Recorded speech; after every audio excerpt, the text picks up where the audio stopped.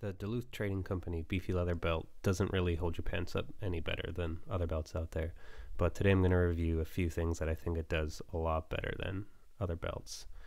You can get it on their website for $69. It uh, has a few info pieces there, made in the USA, um, and it's surprisingly simple, and it's actually, through some research, hard to find a well-made USA belt that isn't overly branded or debossed, uh, lots of overstitching or edge painting to it that's really, I think, trying to hide some of the natural beauty of the leathers that are inherent in this belt. The only branding is a small Duluth Trading Company logo debossed into the face of the belt that eventually gets covered up once you put it on.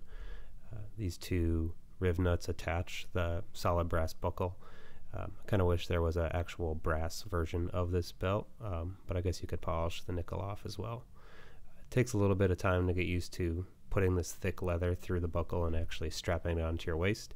Um, but eventually, it's not that hard. Tuck that into the retainer, and you can see it sits a little bit higher than a normal belt would, but eventually it breaks in and uh, kind of sets into your waist size.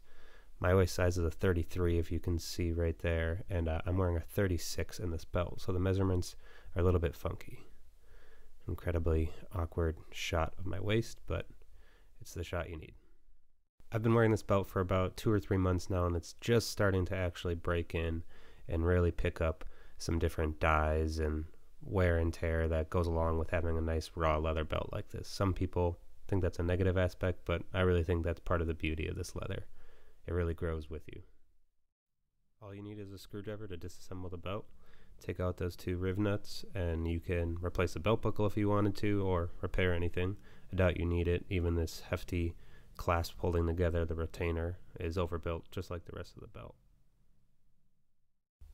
To give you some true perspective, here's an average size men's belt for comparison.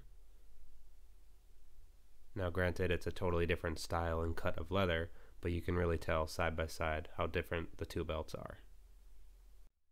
Nobody needs a quarter inch leather belt, but it sure is awesome to have one. Little over 6 millimeters for the rest of the world here compared to that previous belt at just over a quarter inch. For care and conditioning, I'll use a mink oil. This one's by Red Wing, but you can use pretty much any kind. I really like to use it to kind of soften up the leather, help break it in, and even out any scuffs, dirt, or blue jean dye that you might have gotten on it, like I showed before.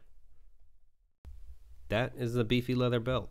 All the product description links will be shown below. If you have any questions or product review ideas, just comment below as well. See ya.